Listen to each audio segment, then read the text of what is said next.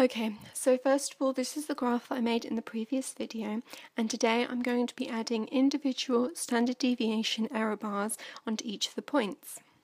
So first of all, I'm going to go into my pivot tab, I'm going to select my pivot table, and I want to change average of ozone, so I'm going to select that, select value field settings, and change average to standard deviation of the population, and then select OK. I'm then going to highlight the whole of my pivot table and press Ctrl C to copy. Scroll back up, move along a couple of places and left click and paste as values. Next I'm going to go back to my chart and I'm going to select layout.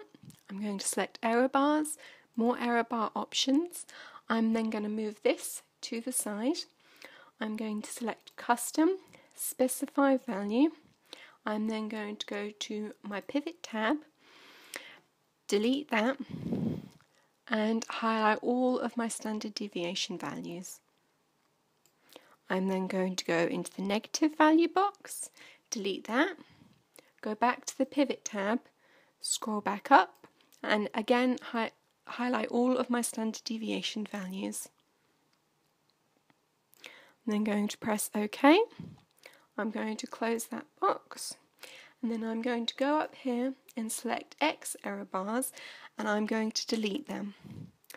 I am then going to move this upwards slightly but the rest of them are all right and that is it.